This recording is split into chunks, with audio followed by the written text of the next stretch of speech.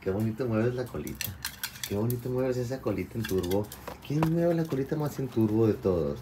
Amigos, miren a Mati, se siente bien, se siente bien y pues es el cuarto día hoy que no ha vomitado. Tres, hola, frijolito, frijolito mozo, hola Mati.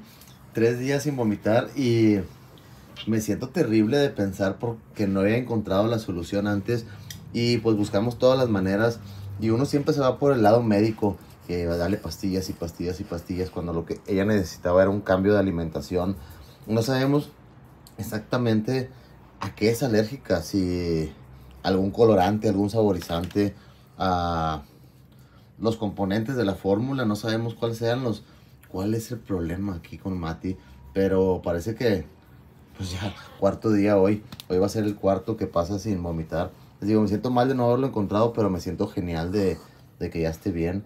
Y les deseo que tengan un excelente día el día de hoy. Eh, feliz inicio de semana. Bueno, inicio no, ¿verdad? Perdóname. Feliz inicio de fin de semana, quise decir, pero realmente empezó ayer. Que tengan un excelente sábado. Y miren las patitas de los perritos. Miren, ya van las huellitas. Y son huellitas de felicidad. Me da mucha felicidad esas huellitas. Porque quiere decir que los perritos son educados y que salieron a hacer pipí. Pero como ha estado lloviendo, pues dejaron sus patitas por todos lados. Miren por acá. Y por acá podemos seguir la huella. ¡Hola, peyota!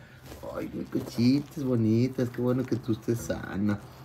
Qué difícil lo de Mati, de verdad que sí dar con el problema. Cuando tienes 13 perros más y a nadie le da alergia, nada más a ella, pues te digo, te vas por el lado médico y, y pues una pastilla y otra pastilla y otra diferente y eh, antiácidos y este, ¿cómo se llaman los para, para, la flora intestinal. No, amigo, le dimos todo tipo de pastillas, pobrecita mi niña.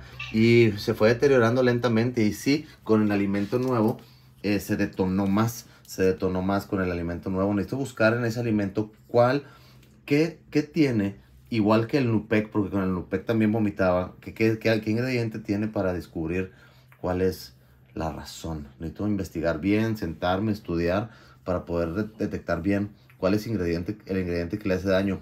No me ha querido comer con las croquetas solas, solas. Y le he estado dando con la tita, aunque el doctor me dijo que se la cortara la latita. Porque como no es hipoalergénica, me dijo, quítale la lata también. Y como no me las ha querido comer, le he estado poniendo muy poquito revuelto así en las croquetitas. Y no ha vomitado. Eso quiere decir que la lata no es. Porque si fuera la lata también, pues, eh, o sea, el problema fuera la lata, el, algo que hay, tiene un ingrediente de la lata, este, pues también vomitara. Creo, estuve leyendo la lata y no parece tener colorantes ni saborizantes artificiales. No sé si las croquetas, necesito investigarlo. Y le preguntaban a Lía, entonces, ¿qué daño les estamos haciendo a los demás con las croquetas? O simplemente ella es alérgica a algo. ¿O cuál, cómo, cuál será la cuestión de todo esto?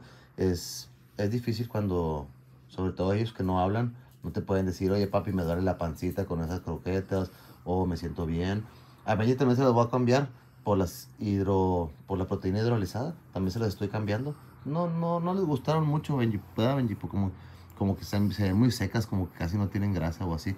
Pero vamos a ver qué cambio tiene el Benji. Ayer andaba jugando, ya se veía muy bien. Vamos a ver qué cambio tiene. Y la pregunta es, ¿le estará haciendo daño a los demás también? ¿Ese alimento o, o no? No sé, qué difícil, ¿verdad? Qué difícil saber todo esto. Y uno quiere hacer lo mejor para ellos, no quiere lastimarlos jamás. Pero, pues no se sabe, no se sabe.